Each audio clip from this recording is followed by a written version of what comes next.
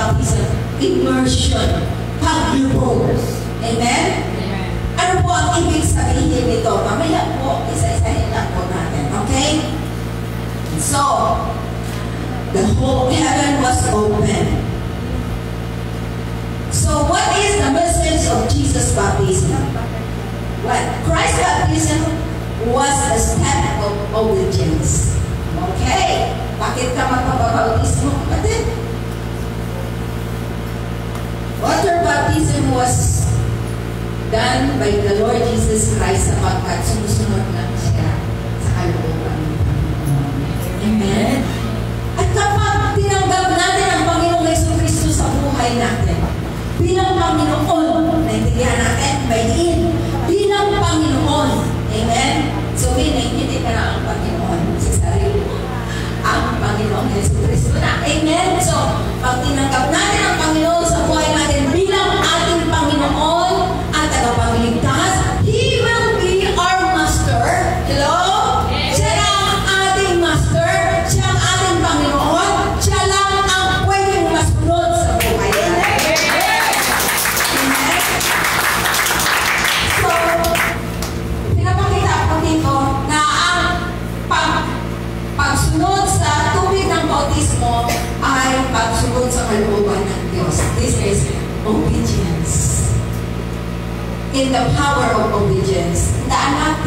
Na ang bautismo ay hindi gaya-gaya.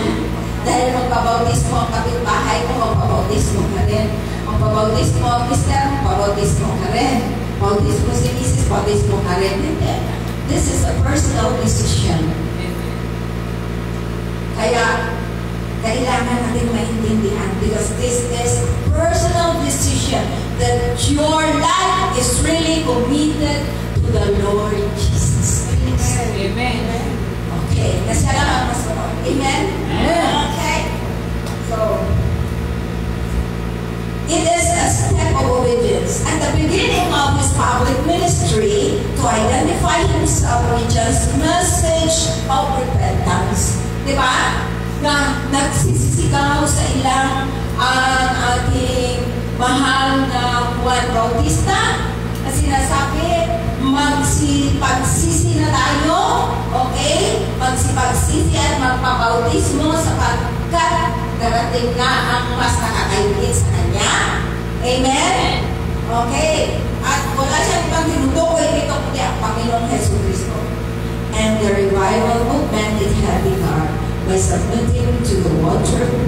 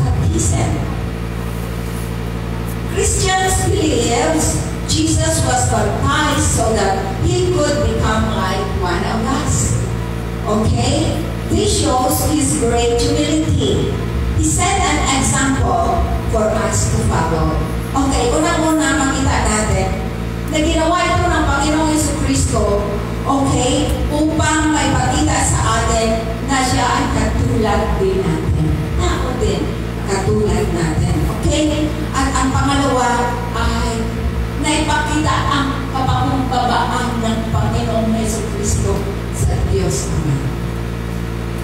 Mapagpakumbaba. Mababa ang kalooban. Okay. And three, he said as an example for us to follow. Okay, kung ang Panginoong Yesu Kristo po, okay, nang naglingkod siya sa ministeryo ng ilang taon, nagpapautismo. Kaya napakaraming mga tao, maraming tao tumatanggap sa Panginoong Yesu Kristo, but they really don't want to be baptized in water. So, anong nakakahal lang? Anong nakakahal lang? Iyon ang naman. Sapagkat kung tinanggap natin ang Panginoong Yesu Kristo sa buhay natin, bilang Panginoon at tagapagligtas, He will be our master already. Hindi na ang sarili natin. So, whatever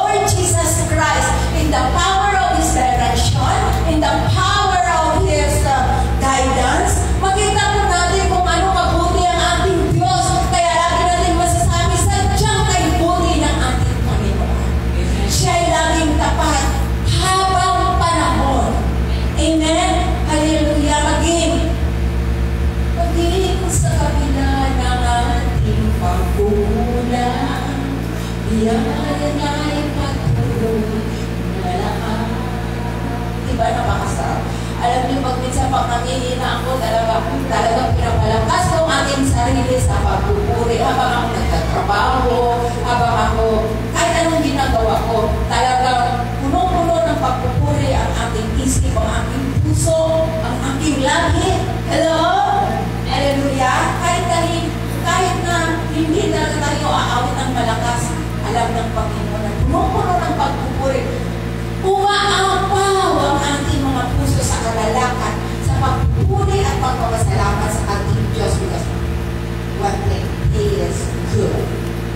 Amen? Our God is good. Amen? Amen. Sabi ng iba, God is good. Sasagot nila, all the time. Pero meron naman uso, God is good. Grabe! Matindi! Amen? Hallelujah! Hindi lang sa lahat ng oras mabuti ang Diyos natin, kundi sa lahat ng pagkakataon, our God is good. Matindi!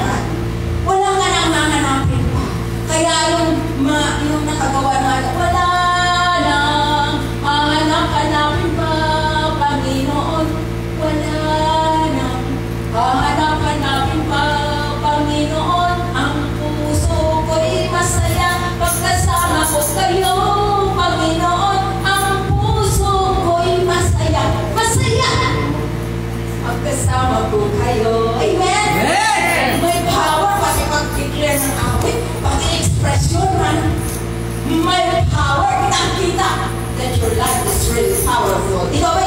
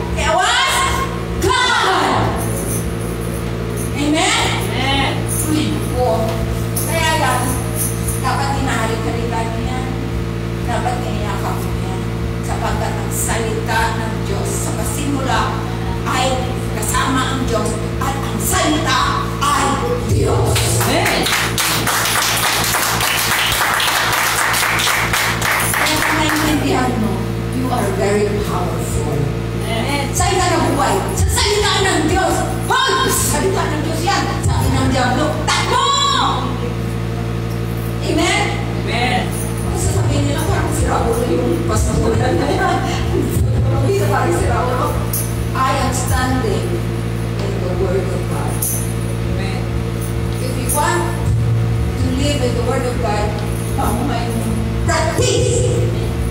Amen.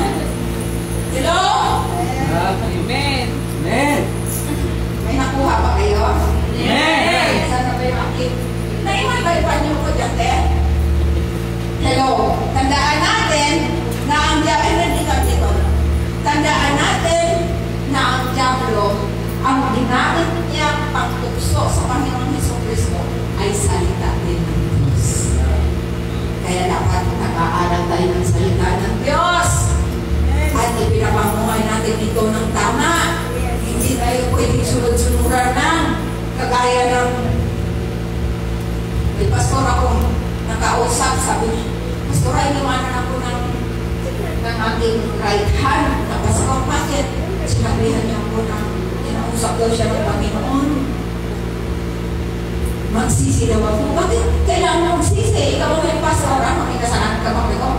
Tinatanong ko nga po pastora kung ano ang kasalanan ko at bakit ako pinapasisi ng banal na Espiritu Santo. Yun daw sabi sa kanya, eh, tatlong beses. Self-study is dangerous. Kailangan nagtatanong kayo sa mga leader ng church sa inyo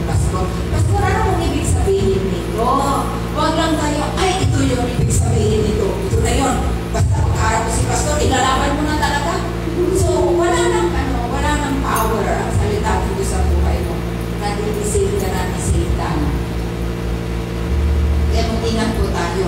Kaya nga, sa salita ng Diyos nakalagay sa muli to your leaders. Tama ba? Amen! Ah, submit to your leaders.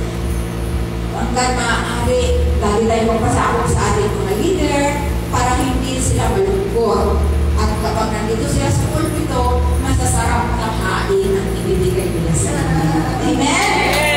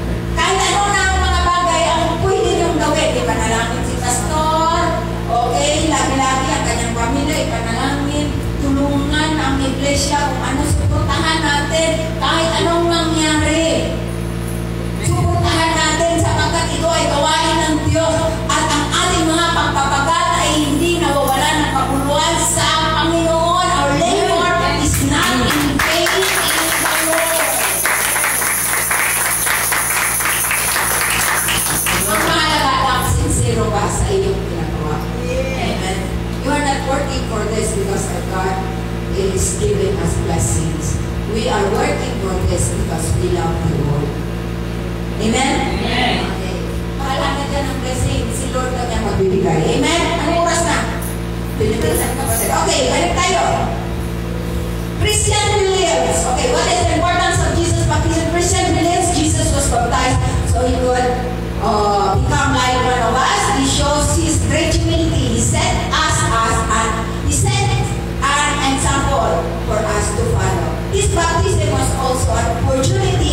his authority as God confirmed he was his son. Amen?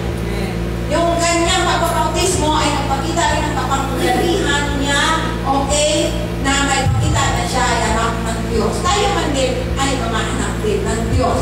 Our God, the Lord Jesus Christ is the Son of God. What is the difference between the Son and the sons of God?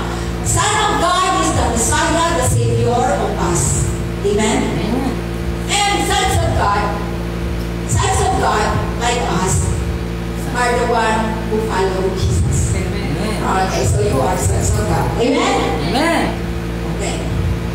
And so, about Jesus baptism, what is the difference between Jesus baptism? Ito lang talaga ang binigyan ko ng tingin. Okay. What is the difference between Jesus baptism and our baptism? May pagkakaiba ba? Sinong sasagot?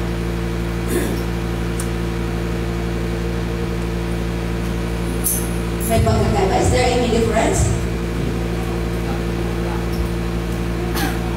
Pagkakaiba mo ba? Okay. The conclusion says, there is no difference. Okay, John was only the forerunner of Christ, and it was John who later baptized Jesus in the Jordan River. And the Spirit overshadowed him, and a voice said,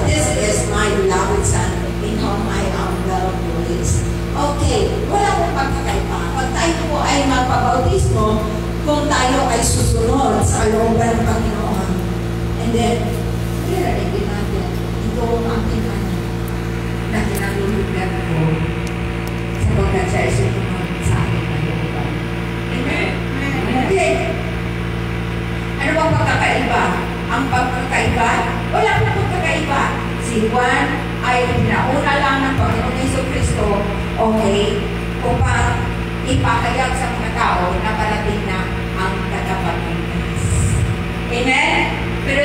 bautismo, wala pong pagkakaiba. So, ganon-ganon talaga ang bautismo. Okay. Anong oras po tayo pupunta doon? After nyo. After. Okay, gusto ko lang. So, naintindihan na po natin. Yung lalakad sa kalooban ng Panginoon, pag gusto magpabautismo, I am telling you that the Lord is coming. One time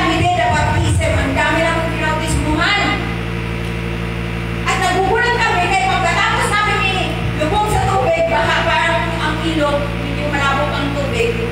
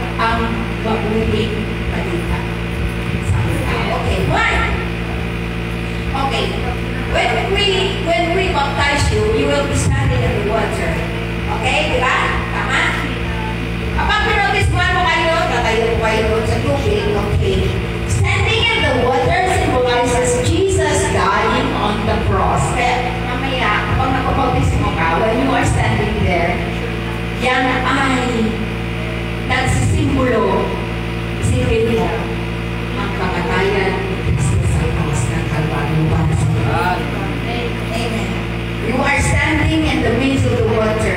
It symbolizes uh, the, the dying of Jesus on the cross. Okay. And, standing ka na.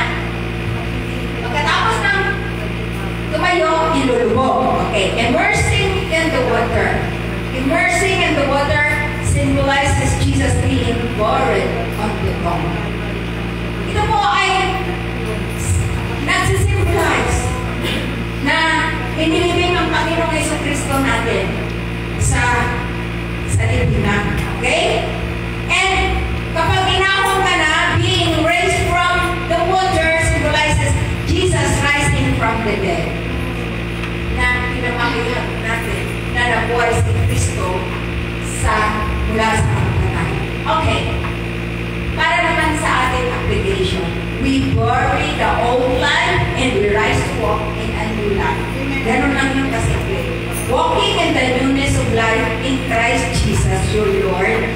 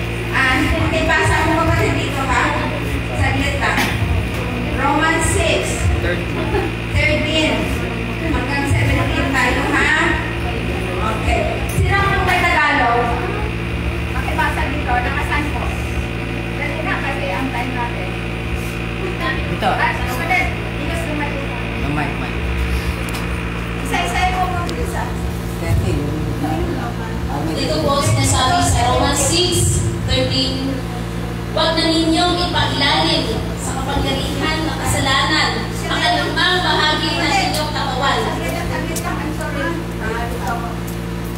Chapter 3, ah, chapter 6, verse 3 to 13. Okay. 3 to 13. Hindi ba ninyo alam? Sinasabi dito sa 6.13, Hindi ba ninyo alam na tayong lahat ng nabautismuhan kay Kristo, Jesus ay nabautismuhan sa kanyang kamatayan? Okay,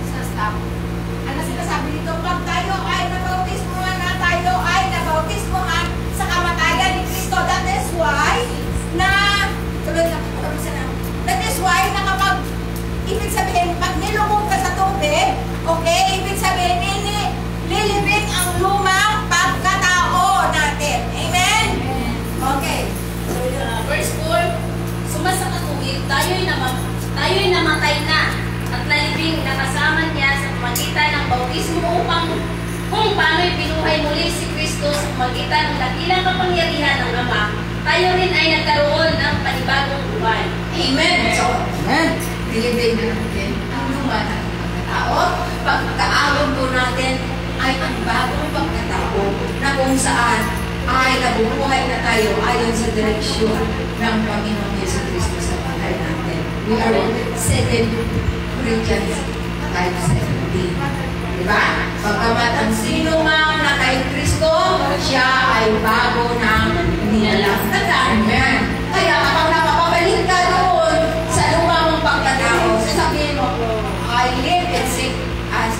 live as a victorious Christian. 2 Corinthians 5.17 Ako ay bago ng nilalang. Kaya ikaw, tumayo tayo sa akin ha, alak ng espiritu ng alak, espiritu ng pagmumura, espiritu ng pagsusugal, espiritu ng katamaran sa pagbabasa ng salita, lahat ng salungan sa kalooban ng Diyos. Rebuke mo yan because you are a new creation. Bagong buhay na ang nilakaran natin. Ano tandaan natin, hindi basta-basta ang ginawa ng Panginoong Yesu Cristo sa cross ng Calvario para magkaroon ka ng isang buhay talaga at kasisiyan. Amen. Dito sa 5 verse 5, sapagkat kung kasama natin si Kristo sa isang kamatayang katulad ng kanyang kamatayan, tiyak na tayo ay makakasama rin niya sa huling pagkabuhay na katulad ng kanyang huling pagkabuhay.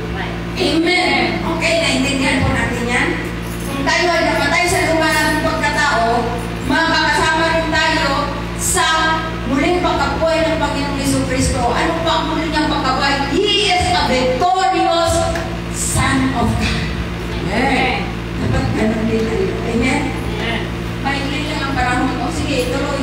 6. Alam natin na ang dati nating pagkatao ay naipako na sa krus kasama niya upang mamatay ang ating makasalanang pagkatao at nang hindi na tayo maalipin ng maalipin pa ng kasalanan.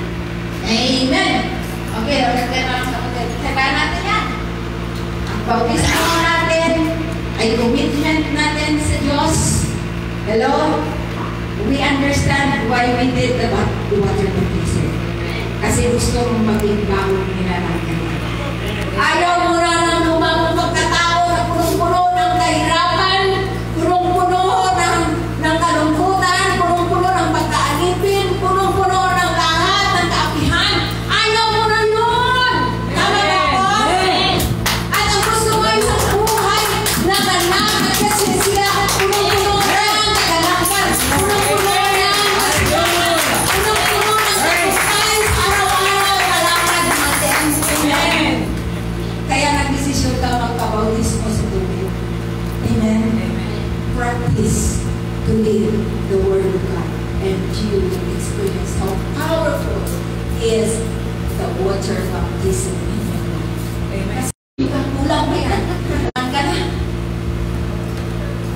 Bautismado na ako. Kita na, pre!